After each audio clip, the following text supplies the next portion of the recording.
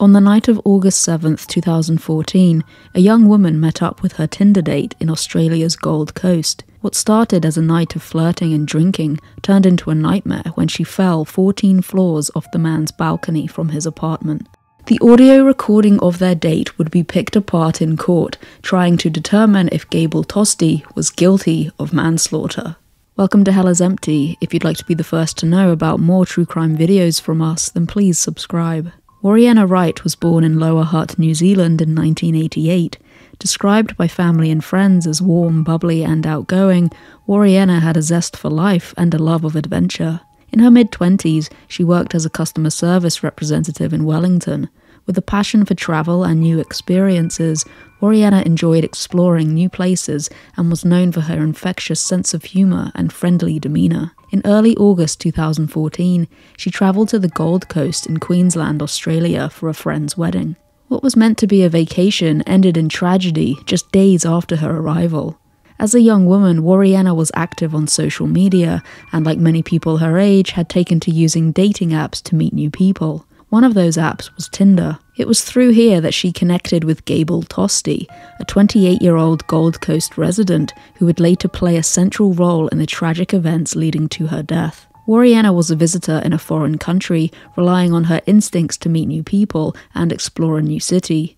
Unfortunately, her decision to meet with Tostee on the night of August 7, 2014, would result in the unthinkable. Gable Tostee was a 28 year old resident of Surfers Paradise on the Gold Coast of Australia. Known for his love of parties, bodybuilding, and socialising, Tostee had a reputation among some as a player, someone who used dating apps like Tinder to meet women for casual relationships. His social media presence reflected a man who embraced the fast paced, glamorous lifestyle of the Gold Coast's nightlife. Despite his outward persona, Tostee's life was not without controversy. His behaviour had raised eyebrows on more than one occasion, with reports surfacing of his confrontational and erratic tendencies. He had previously clashed with law enforcement over unrelated incidents, and his use of dating apps brought him into contact with numerous women, some of whom later described their experiences with him as uncomfortable or even intimidating. At the time of his meeting with Warriena, Tostee was living in a high rise apartment on the 14th floor of the Avalon building in Surfers Paradise. The apartment was a symbol of the luxurious, party centric lifestyle that he had cultivated for himself. What began as a seemingly innocent date on the night of August 7th quickly escalated into a nightmare that would have fatal consequences. Before the tragic events of August 7th, Gable Tostee had already established a complex and sometimes troubling relationship with the law. Although he wasn't considered a hardened criminal, his encounters with law enforcement painted a picture of a man prone to erratic behaviour, confrontation, and poor decision making. These incidents, combined with his controversial lifestyle, would later come to the forefront of the public attention, where he was thrust into the media spotlight. Tostee's trouble with the law began with minor infractions, but they reflected a growing pattern of reckless behaviour. He had been arrested in the years leading up to Warriena's death on charges of public disorder and drunken behaviour, which were often connected to his lifestyle of heavy drinking and partying. These incidents generally involved Tostee becoming involved in altercations or confrontations while intoxicated, leading to police intervention. One notable encounter occurred in 2014 when Tostee was charged with leading police on a high speed car chase. The incident took place on the Gold Coast, with Tostee reportedly fleeing from officers when they attempted to pull him over for a traffic violation. The chase ended with Tostee being apprehended and charged with dangerous driving. While he avoided jail time, the event highlighted his disregard for authority and his willingness to engage in risky behaviour to avoid facing the consequences of his actions. In another incident, Tostee was involved in a fight at a nightclub.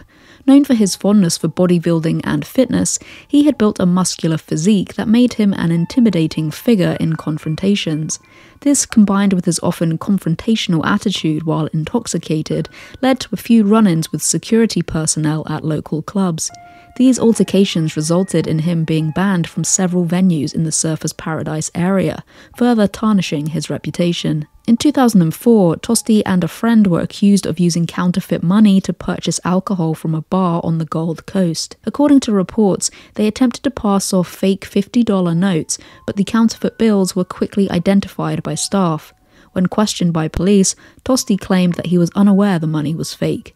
The authorities investigated the matter further, but Tostee managed to avoid serious legal consequences. While Tostee was not formally charged with producing or distributing counterfeit money, the incident added to his growing reputation as someone who engaged in questionable behavior. This run in with the law, though not resulting in a criminal conviction, was one of several episodes that painted a picture of a man willing to test boundaries and involve himself in shady activities. On August 6, 2014, Warriena and Gable Tostee matched on Tinder. Warriena, who was in town for a wedding, and Tostee, a regular user of the app, agreed to meet the following day. Their interaction started casually, like many Tinder dates, with little indication of the tragedy that was about to unfold. Warriena and Tostee met on the night of August 7, 2014, around 8 pm in the heart of Surfer's Paradise. After a brief meet-up at a bar, they made their way back to Tostee's 14th floor apartment in the Avalon building. Inside Tostee's apartment, things began to escalate. The two shared drinks, and Tostee's infamous audio recording from that night, captured on his phone, would later reveal a tense and volatile atmosphere. The audio, over three hours long, recorded the chilling moments leading up to Warriena's death. While the initial part of their date was seemingly uneventful, things took a dark turn as the night progressed. According to the audio, Warriena became increasingly anxious, at one point hitting Tostee with decorative rocks from his apartment. Tostee, increasingly aggravated, accused her of being out of control. The audio recording reveals his growing frustration, and soon the situation escalated to a physical confrontation. Weirdly, Tostee mentions falling off the balcony twice that night. Around 1am, they seem to be having a conversation about death. At 1.06am, Warriena says she is all good with dying. Then she says to Tostee, I know you want to kill me because you told me so. Then they talk a bit about religion, and at 1:09 a.m., Tostee says he doesn't think there is anything after this, this meaning life. He said, "You die and that is it. Throw me off the balcony and that is it. This is it. Boom." He then mentions the balcony again later on when the situation escalates. About 30 minutes later, it appears from the recording that Tostee has hidden Warriena's phone, and she is getting stressed and anxious about it. She tells him it's not funny and that she will break his jaw. She asks him to get it, and he tells her that she should get it. She then tells him that she will call the police, and Tostee replies that she can't do that without her phone. At 1:39 a.m., Tostee says, "Your phone must be out of battery. It must be out on the balcony." Was he trying to get Warriena out onto the balcony already at this point? Tostee then produces the phone and gives it to her. It seems as if he knew where it was all along. Tostee then claims Warriena was beating him up. He said, Do you even remember what you were doing to me half an hour ago? You were beating me up for no reason. You thought it was funny or something. Why were you beating me up? He says they should discuss this and offers her something to eat. It has to be pointed out that Tostee knew he was recording, and he could therefore say anything he wanted to manipulate the situation. When Tostee claimed that Warriena was beating him up, he clarified in court that she said she could do Muay Thai and was play fighting with him, but he got tired of it. At no point was he actually afraid or seriously hurt by Warriena. But it's fair enough that he asked her to stop and she didn't. At 1:48 a.m., Warriena asks if she can go over to the window and have a look. Eerily, Tostee says, "Don't jump off or anything." The situation escalates when the two drink more, and according to Tostee, Warriena is being violent, but it's not clear exactly what she's doing. He can be heard on the recording saying, "Hey, no violence." At 2:10 a.m., Warriena says, "That really hurt my vagina." And Tostee calls her a wuss and insane. Then there is a loud bang, and he says, ow. Then at 2:14 a.m., Tostee says, "You are not my kind of girl. You have worn out your welcome. You have to leave." At 2:15 a.m., Tostee says, "I thought you were kidding and I have taken enough. This is fucking bullshit. You are lucky I haven't chucked you off my balcony, you goddamn psycho little bitch." At 2:16 a.m., Tostee calls her a goddamn psycho. He then tells her she's going to walk out and if she tries anything, he will knock her out. It appears that Warriena is holding something. Tostee states, Let go. You think that you hit me and I was going to fall down like in the movies. Then there are laboured breathing sounds. He states again, Let go of it. Let go. Let go. It was alleged that Tostee was choking Warriena at this point to get her to let go of the object. At 2:18 a.m., there are still labored breathing sounds, and Tostee again says, "Let it go." At 2:19 a.m., there is the sound of something heavy dropping to the floor as if it was thrown. Then there is a scuffle. It sounds like there is lots of moving around. Seconds later, there is the sound of the balcony door unlocking. Tostee shouts, Who the fuck do you think you are, hey? Meanwhile, Warriena is heard saying no repeatedly. Tostee says, You tried to kill me, huh? Well, why did you try and hit me with that, huh? Shut your filthy mouth. Warriena is screaming no. Tostee tells her everything is being recorded, and Warriena repeatedly shouts no and says, Just let me go home. Tostee then says, I would, but you have been a bad girl. Then there is the sound of the balcony door sliding shut. At 2:20 a.m., Warriena says, "Just let me go home. Just let me go home." We can hear Tostee's heavy breathing, and then a faint scream is heard when Warriena falls to her death. At 2:21 a.m., there is very heavy breathing from Tostee, and then he calls his lawyer, but the call is not connected.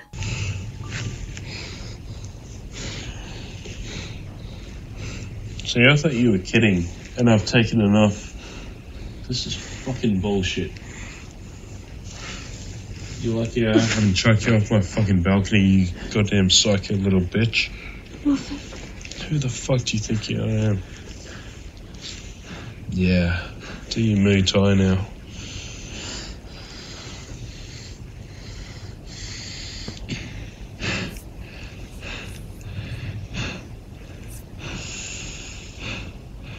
What? What? Got something to say? Say it. Say it. What?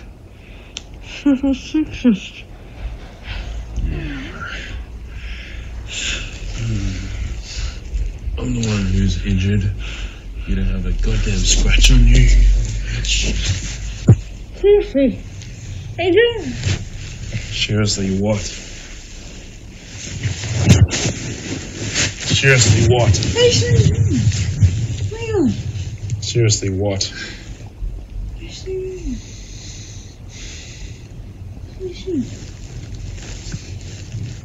I thought you were just playing around. I'm fucking sick of this shit.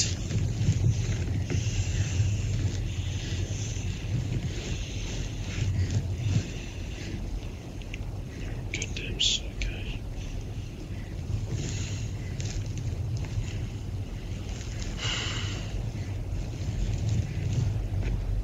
I'm gonna let you go. I'm gonna walk you out of this apartment. just the way you are. You're not going to collect any belongings or anything. You're just going to walk out. And I'm going to slam the door on you. You understand? If you try to pull anything, I'll knock you out. I'll knock you the fuck out. Do you understand? Do you understand? You understand?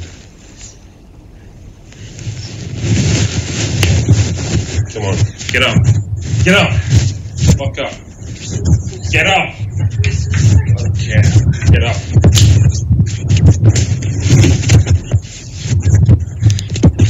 You don't understand, do you? You don't understand anything at all, do you? You don't understand.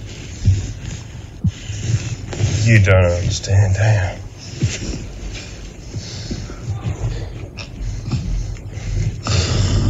Just don't understand. Let go. You think you can hit me and I'll just like fall down like in the movies? Huh? You don't understand, do you? Let go of it. Let go. Let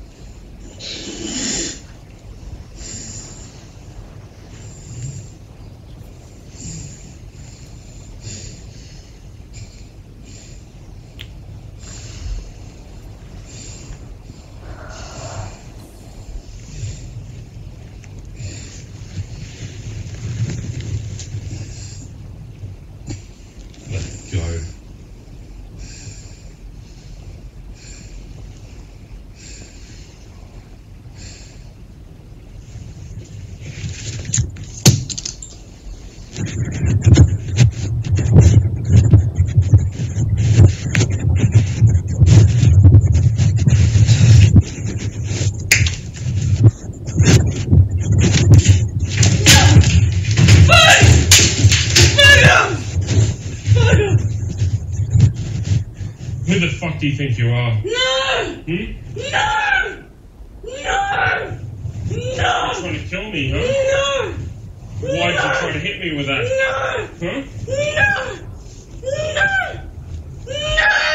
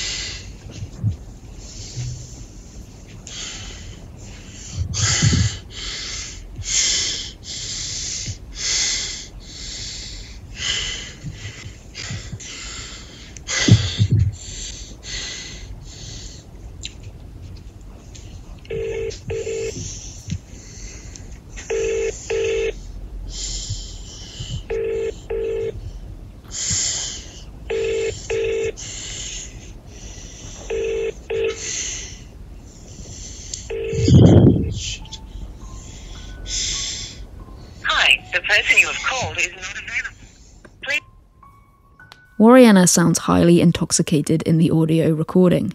Perhaps she was confused and afraid of Tostee. Tostee argued that Warriena was violent towards him, but at the end of the day, she was half his size. He was not afraid of her, and that's obvious from the recording. In fact, he makes several attempts to get her to stay and have another drink. He asks her if she wants something to eat. He asks her to sit down, and he asks her to stay the night. He was simply annoyed with her and made various threats when he could have just made her leave. It's inferred in the recording that they were drinking Gable's homemade vodka, which the police would later find, and this could point to the reason that Warriena was so intoxicated. She was probably afraid of what might happen to her, being so impaired and confused in a strange man's apartment. She wanted to call the police, but he had taken her phone. Additionally, the Crown prosecution claimed that Tostee strangled her, and he told her to get up, after which she said she is sorry. At this point, Warriena was definitely afraid for her life. The defense argued that he locked her out onto the balcony, and desperate to escape, she tried to climb onto the neighbour's balcony, but because she had been drinking, she lost her balance and fell. But Tostee strangely mentioned the balcony a number of times prior to locking her out there. It's curious because falling off the balcony was obviously on his mind. He told Warriena that if he fell off the balcony, that would be it, there would be no afterlife. Later, he told her that she was lucky he hadn't chucked her off the balcony. And then when he took her phone, he said it must be on the balcony. Why were there so many mentions of the balcony if he wasn't thinking about throwing her off it or getting her to at least go out there? This photo is a police reenactment of how the neighbours saw Warriena hanging from the balcony mere seconds before she fell.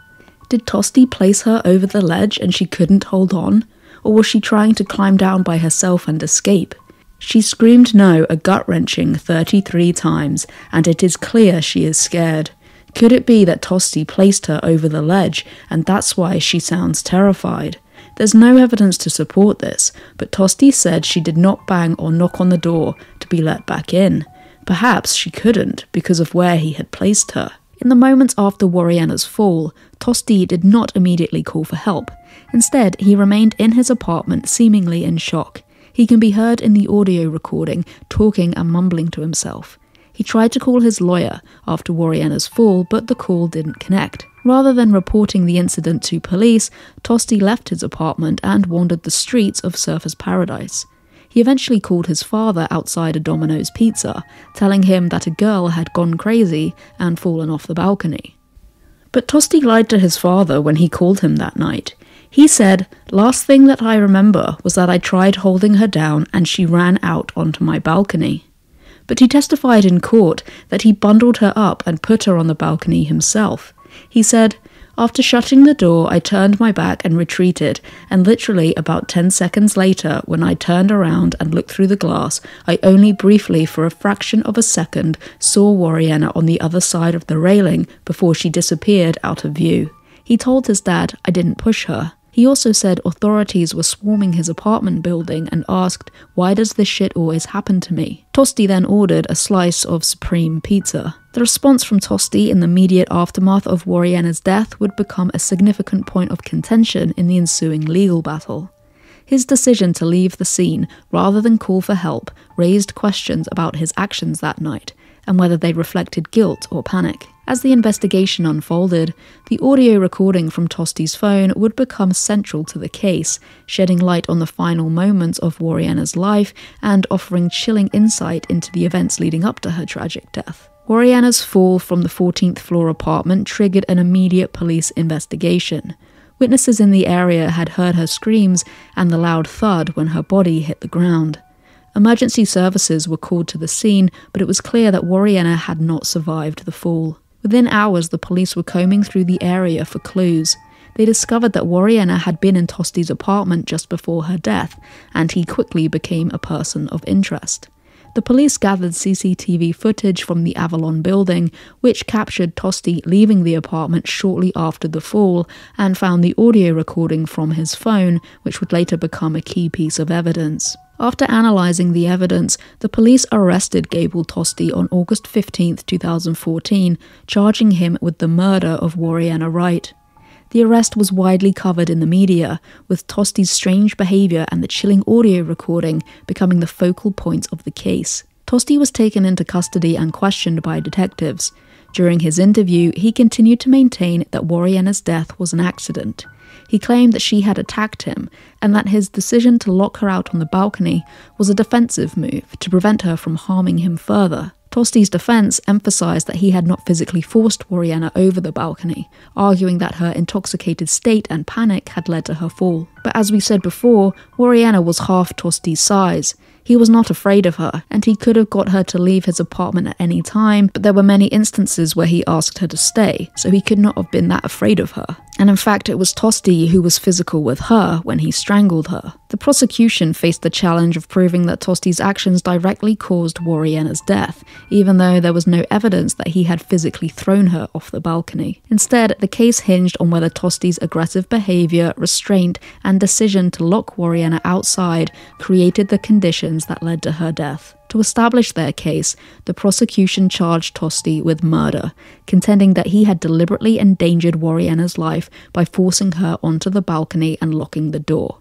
knowing she was distressed and intoxicated. Alternatively, they also argued that Tostee's actions amounted to manslaughter, implying that even if her death was not intentional, his reckless conduct directly contributed to the fatal incident. The prosecution's central argument revolved around the idea that Tostee created a dangerous environment for Warriena, which led to her fatal attempt to escape. They pointed to the audio recording, which captured Tostee forcing her onto the balcony, as evidence that he knowingly put her in a vulnerable position. The prosecution portrayed Tostee as a man who had lost control of the situation and escalated it instead of calming it down. They argued that Tostee's decision to lock her on the balcony, knowing she was intoxicated and fearful, showed a disregard for her safety. The fact that Tostee left the apartment after her fall and failed to call emergency services was also used as an example of his callousness and lack of concern for her well being. Additionally, the prosecution highlighted Tostee's aggressive language during the argument, including the moment he told Warriena, You're lucky I haven't thrown you off my balcony. This statement, they argued, demonstrated his potential for violence and underscored the danger she was in that night. Additionally, he took her phone at one point, causing her to panic. Had she needed to call someone for her own safety, she couldn't. She also asked Tostee to let her go home, but he told her no, she had been a bad girl. It therefore seems that Tostee had many opportunities to let Warriena leave or even force her out of his apartment, but he chose not to. Instead, he chose to lock her out on the balcony. He was purposely punishing her instead of allowing her to leave. The defense's case was built around the argument that Warriena's death was a tragic accident, not the result of deliberate actions by Gable Tostee. They contended that while the events of the night were undeniably traumatic, Tostee's decision to lock Warriena outside was an attempt to de escalate the situation, not to harm her. The defense argued that Tostee had been the victim of Warriena's erratic behavior, pointing to her intoxication and aggressive actions inside the apartment, such as throwing decorative rocks at him. They asserted that Tostee restrained Warriena to protect himself, and that he only locked her on the balcony to prevent further violence. But throwing small rocks at him and choking her are not the same. His level of violence towards her was not reasonable, even if he was trying to protect himself. A key element of the defense's case was the fact that Tostee did not physically push Warriena over the balcony. They claim that she attempted to climb down due to her intoxicated and panicked state, ultimately leading to her accidental fall. The defense also emphasized that Tostee had recorded the audio to protect himself, demonstrating that he had no intention of harming Warriena. Furthermore, the defense attempted to humanize Tostee, arguing that his unusual behavior after the incident, such as wandering the streets and calling his father and ordering pizza, was the result of shock and fear, not guilt. For the prosecution, the recording painted a vivid picture of Tostee's escalating anger and control over Warriena. They used it to demonstrate how he had intimidated her, physically restrained her, and ultimately forced her onto the balcony, leading to her tragic death. The defense, however, argued that the recording proved Tostee had not been acting out of malice. They pointed to moments where Tostee told Warriena to calm down and insisted that his actions were aimed at diffusing the situation. The defense also noted that Tostee had not threatened her directly, but instead had locked her outside for both of their safety. Several key witnesses were called during the trial. The prosecution relied on expert testimony, including forensic specialists who analysed the audio recording and CCTV footage. They sought to establish that Warriena's behaviour on the balcony was a direct response to the fear and distress caused by Tostee's actions. The defense, on the other hand, focused on witnesses who could attest to Tostee's state of mind.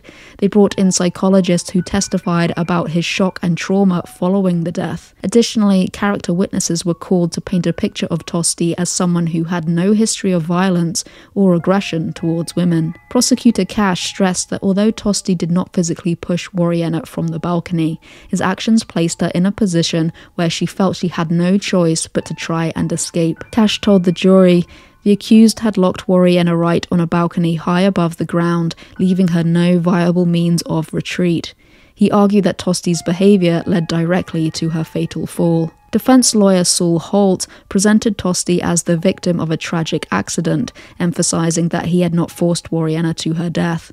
Holt described Warriena's actions as the result of intoxication and panic, and he portrayed Tostee's decision to lock her out as a reasonable response to her erratic behavior. He argued that the prosecution's case was built on speculation and assumptions rather than hard evidence. Holt told the jury he didn't push her, he didn't throw her, and he reminded the jury that the ultimate tragedy was not a result of physical violence by Tostee. However, he was physically violent with her when he choked her. For the prosecution, forensic experts analysed the audio recording, breaking it down into individual moments to demonstrate the tension between Tostee and Warriena.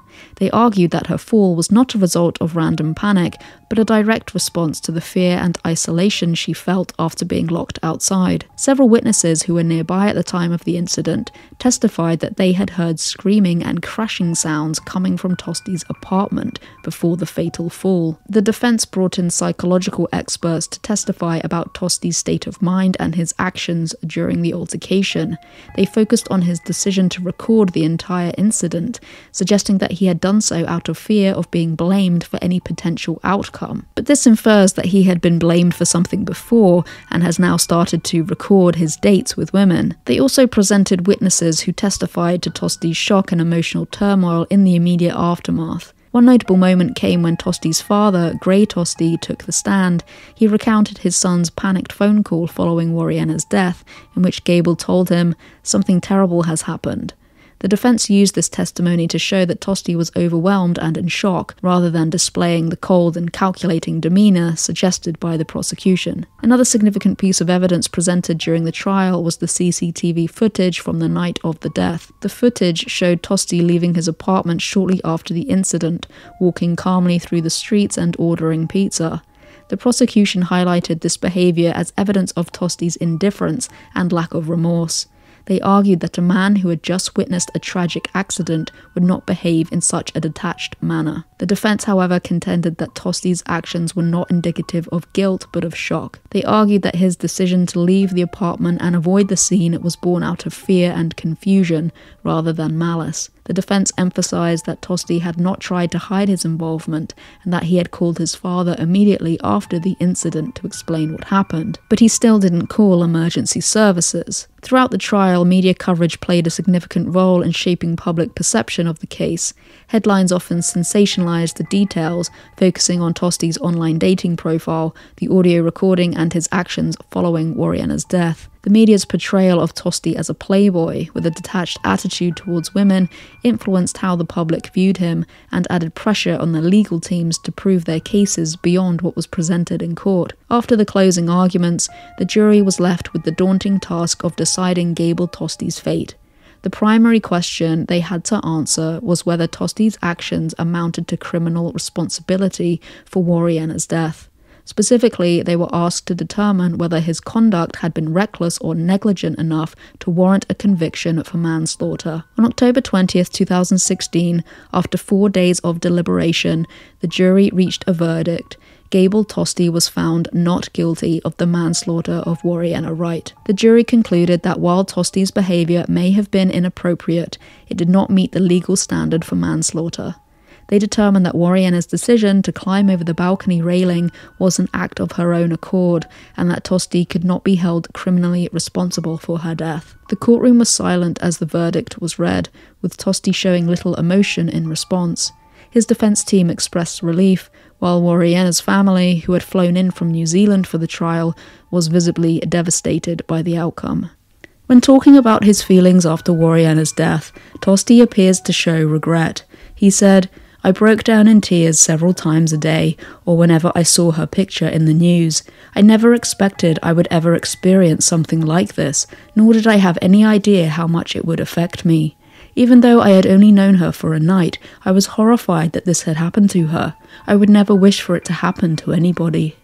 The public reaction to the verdict was deeply divided. Some viewed the jury's decision as just, agreeing that Tostee had not physically caused Warriena's death and had been unfairly vilified by the media. Supporters of the verdict argued that the trial had demonstrated the complexities of the case, particularly in terms of self defense and personal responsibility. However, others were outraged by the acquittal, believing that Tostee's actions, his threatening remarks, locking Warriena outside, and his behavior after the incident were indicative of guilt. Many people questioned the morality of his conduct, arguing that even if it didn't meet the legal definition of manslaughter, his actions had played a critical role in creating the conditions that led to her death. After the trial, Gable Tostee, who had legally changed his name to Eric Thomas, attempted to resume a normal life. However, his infamy made this difficult. The public viewed him with a mixture of suspicion and intrigue, and he remained a controversial figure in the media long after the trial. Tostee tried to keep a low profile but was often thrust back into the spotlight. His social media accounts were scrutinized, and any public statement he made was quickly picked up by tabloids. In interviews, Tostee maintained his innocence and reiterated that Warriena Wright's death was a tragic accident. He often expressed frustration at being labeled a killer by some segments of the media, despite his acquittal. However, Tostee's arrogance and general twattishness didn't help him. He joked about Warriena's death online and continued to use Tinder. In 2021, he was involved in a dispute with a woman named Sabrina Collins, who alleged she received abusive text messages from a female friend of Tostee's after they had stopped seeing each other. She also alleged that Tostee had shown her what happened the night Warriena died. She said, He was showing me, and then he locked me on the balcony to show me what it was like. Tostee denied this ever happened and said Collins was insane. In 2022, Tostee was found naked and trapped inside his car after crashing it. He was charged with driving under the influence, but this charge was dismissed. It seems that Gable Tostee has nine lives. He has evaded jail time for every charge he's faced. From driving under the influence to counterfeit money, he has got away with everything. Will his luck one day run out? Or will Gable Tostee, now Eric Thomas, continue to escape consequences of his actions? Thank you for watching and please subscribe for more videos.